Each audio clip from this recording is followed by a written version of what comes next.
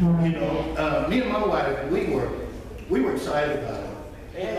You know, normally we get up in the morning, we do our little prayer and everything, we never really, uh, first of all, the TV come on. Now, Yeah, TV yeah, don't come on. TV don't come on. You know, See, our Bible, we sitting there and we, we reading and talking to each other and using the social and uh, discussing uh, what we're reading and everything. And in the mornings, I leave in the enlightened, and she leaves enlightened. So it, it's been a it's been a great influence in our lives. Yeah. And I know it's been a great influence in y'all's lives. Yeah. But one particular thing that stuck out was day three. Can I have a few more seconds? Yeah. okay. One thing that stuck out was day three. So I get so excited, I feel like shouting. Uh, day three, devouring the word of God. Never took it that way before. Yeah. But you know, like I said, I'm not politically correct, but if you pull in a water Whataburger and you hungry, right, you, you devour that Whataburger. Eat it up, right? You eat up all your money's worth. of that. That's the way you need to do with God's word. That's the way you need to do with God's word. You need to study, you need to take it in, you, uh, absorb it, absorb it into your spirit. And if you keep going over it, it, will absorb. But uh, Psalms 1 and 2, uh, 1 and 2. But his delight is in the law of the Lord. And, and in his law doeth, uh, he meditates day and night. So if you're delighting in the word of God and you meditate on it, you think about it, uh, while you're, you know, you're reading it and you sit and you just concentrate on it because believe it or not, everything else you do, you, you concentrate on it. Yeah, You know. But if you concentrate on the word of God, then you can't be concentrating on something simple at the same time. Amen? You know, you, you, you think about God's word, so you can't be thinking about anything out there that's, that's not God's word. You know. Uh, and then uh, Psalms 34 and 8. Uh. I'm finna sit down. Uh,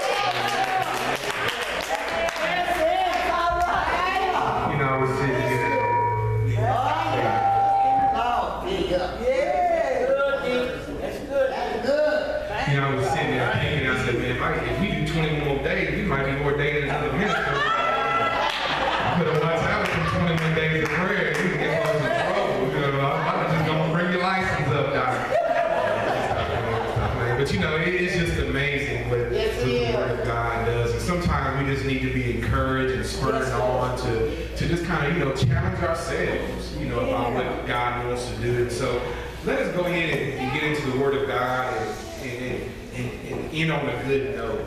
Uh, as far as the 21 days of prayer is concerned, let us bow before we get into the Word. Amen. Precious Father, we thank you again for the testimonies. We thank you for what we've heard and the things that have been said, and how in the midst of all that, Lord, we excitement that the Holy Spirit produces in the hearts of those who love you and are called according to your purposes, Father. And so I pray that, that as we remember these 21 days, that, that we'll begin to prepare to do greater things in your name, Father, knowing that, that there's always a time of preparation before you send us to go. And so, Lord, as I was thinking, as I was praying, as I was reading, as I was calling, Lord, I can just see you moving through the congregation in a way that, that's going to bring you glory and you honor. So, Father, my prayer is that, that whatever we started, whatever you started in our hearts will not end just because we've crossed the finish line. We will continue to, to go and work out knowing that the race is not done, Father, that we have not obtained everything that you have placed before us. So, Lord, let us be steadfast, be unmovable in the things that, that, that, that tell us that who you are, Father. So we just say thank you today, Father, for your love and your patience and the mercy that you have demonstrated to us, Lord, knowing that you're a God that has given us a privilege to come before you and to be called your children. And so let us go out and share the good news of, of our Lord Jesus Christ and, and what you have done and how uh, uh, changing our lives has impacted us and those that are around us, Lord. And so give us the strength and give us the mercy is our prayer. It's in Jesus' name that we pray. Let us all say amen. Amen. So uh, let's give participants a, a round of applause.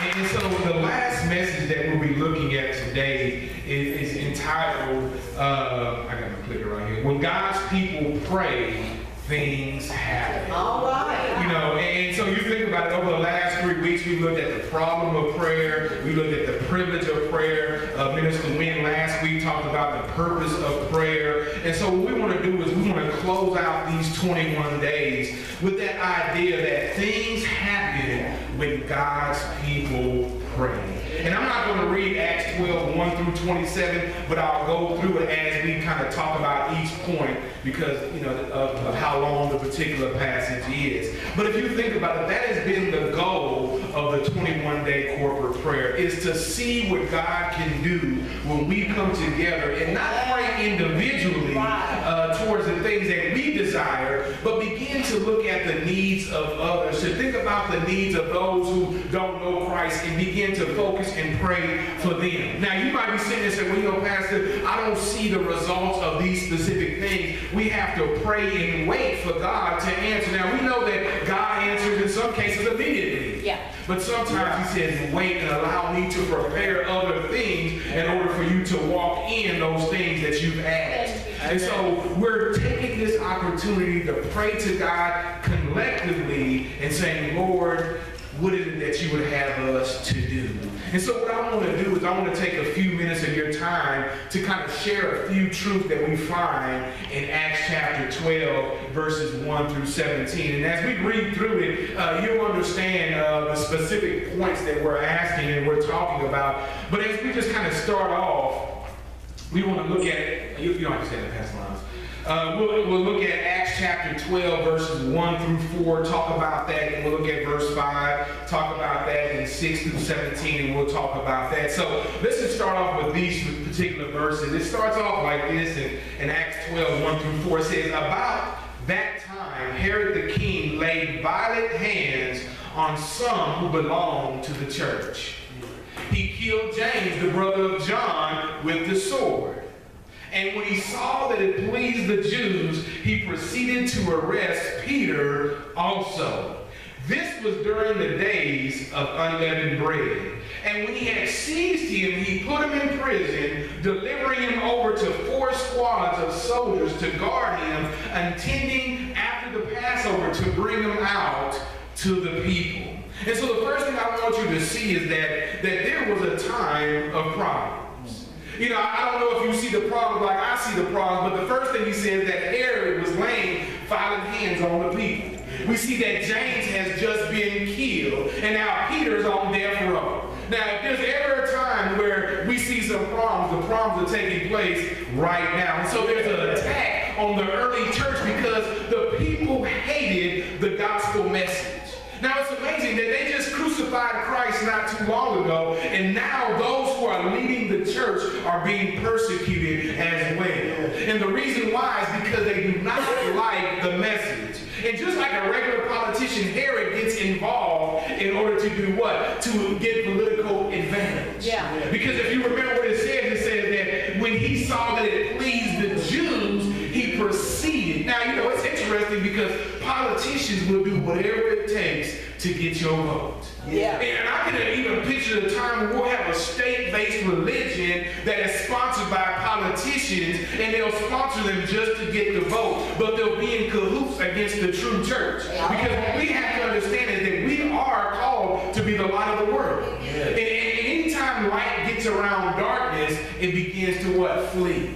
And so if we maintain our boldness, we maintain speaking the truth about the gospel, what's going to happen is persecution will arise. Now, we don't have to go too far, but we know in other countries, in different places, people are already being persecuted. They have the underground church because they cannot what come above and preach the gospel because of what is uh, because of the jeopardy of, of their particular life. And so the first thing we notice is that they're under attack. And so when we're under attack, what do we do? We, should pray. And that's the whole purpose that we'll be looking at in a minute is that they're under attack because there's problems. And not only are there problems, there's uncertainty. So if the leaders are being persecuted, if the leaders are being killed, what do you think the members are thinking about? We're next. And so the problems and the, the uncertainty and all this brings about the adversity that takes place when we begin to deal with the individual. So Herod, Herod and the Jews were responsible for the persecution, but they were merely uh, instruments in the hands of Satan. Now, you know, it's interesting because when we look at situations within our lives, we tend to look at the individual as being the one that's perpetrating the crime. But behind every individual, there's what? There's satanic uh, involvement, right? Because the truth is this you're either the son of the devil or you're the son of who? Look at the flesh and blood, but behind the flesh and the blood, there's a spiritual realm, and that's where the problem lies. Oh, yeah. And that's why if we don't deal with the spirit, man, we can try to doctor up and give CPR to the flesh, but it won't have eternal life. Yeah. I mean, it might, it might make a few noises, it might blink an eye or something, but it will never come to life to where now it can live on its own. And if you notice, that's what's taking place here is that, is that Satan is using Herod, he's using the Jews, and what he's trying to do is he's trying to promote so much trouble that they no longer want to go and preach the gospel. Yeah. I mean, you think about persecution in, in your realm. I mean, because we all got it, right? Yeah. I mean, you have persecution within your family. You have persecution with, with those on your job, with your friends. But what we tend to do is when the persecution begins to be too much for us, we tend to be timid in how we approach different situations. Yeah. And so you have to understand that, that even in this current time, the church is not immune from the problems.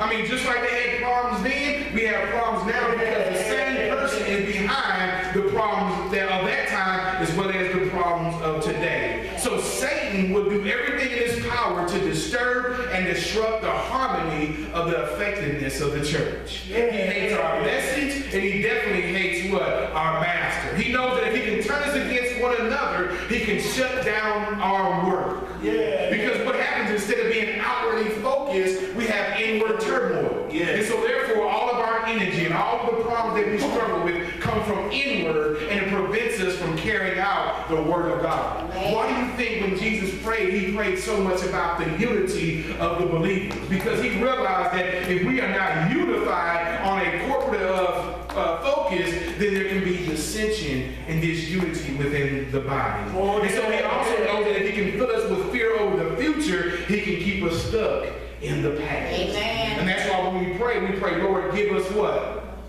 This day, our daily bread. It tells us not to worry about tomorrow because tomorrow has enough worries of itself. And so we operate in a world that is hostile to our message. Society has no use for us or the message in which we preach. And we can see that the modern church has many problems. I mean, we have to really be visual about what's taking place and understand that, that the problems that we see have a stem that comes from Satan. So when we look at the church financially, numerically, spiritually, we see that the church is in deep trouble. Yeah. Now, of course, we've always talked about the two types of church. You have the visible churches, but then you have the true church. The visible church is that in which I speak of. Because the real church really don't need finances. It doesn't need those things to operate because the church is within the individual. But the first process, the first step that people see is the visible church. Yeah. The visible church is in trouble. The only churches that are growing are those that what? That embrace a worldly atmosphere or a message. The fundamental churches that still cling to the Word of God and preach the foundational elements are dying at an alarming rate. And we have to understand what we're fighting against because, you know, to be real with you, sometimes we have a tendency to want to be like the church down the street. We want to be like the mega churches. And so therefore we begin to compromise. We begin to look at worldly ways of attracting more people just to sit in the seats, but we're not as focused on the souls of the individuals. And that could be a temptation. Yourself, have you ever asked yourself that? You know, where are the people? Where are the finances? Where are the things that are necessary, quote unquote, to keep the church going? And so we are not immune from the troubles here at Nehemiah Community Church. And we can say, well, it's not our church, it's the church down the street. But there are troubles, attacks, and problems here too. Oh, yeah, We need yeah, God's help just as much as any other church. And so what we don't want to do is get caught up thinking that we have everything together because that's when Satan what gets in. Yeah, yeah. When we're least uh, alert about the situations Yeah, yeah. that take place. And so the first thing we see in verses one through four is that it's a time of problems. Now, this is the good part about problems. You know something about the problems? God uses our problems to spark earnest prayer. Oh, yeah, I mean, you think about it. I mean, God uses the problems that we struggle with in order to start us or to motivate us to have earnest prayer. You know the difference in your prayer life. When everything is good, your prayers are very common, probably sometimes straight to the point. But when there's a struggle within your heart, your, your time of prayer changes. The, the, the, the amount of time you give to it, the sincerity, the depth of your communication opens up to a point where you don't experience when things are going okay. And so God allows the problems to come in in order to get a result, which is that of prayer. Oh, yeah. And so we have to understand that regardless of the problems, God will not waste any of our trials because he uses it for a greater purpose. Yeah. Have you ever felt like your trials have been in vain? That the, the struggles that you go through won't be used? But it's just like Moses in one of our uh, one of our prayer days. You know, there was a time of preparation. And in your preparation, there will be trials. But God will use all those times and all those preparations and all those trials to get you where he desires you to be. So even here in this particular passage, the problem is there, but there's also what? A solution. If you notice in verse 5, it's a time of prayer. Look what it says. It says, So Peter was kept in prison. Uh-huh. And then what's the key word in this passage? It's a little tiny word, and it says, but, which is a very transitional word, but earnest prayer for him was made to God by the church. Now, I mean, but makes all the difference in the world. The situation looked desperate, but it looks as though Peter might be put to death, but it looks as though the church might be destroyed before it can carry out the gospel message, but, and I thought about it, where do I need a at? in my own personal life? Do I need a but in my in my family? Do I need a but with my friends? Do I need a but about my peace or about my joy, about my hope, or a but about my situation? Because it doesn't matter what it looks like, because it looks like problems,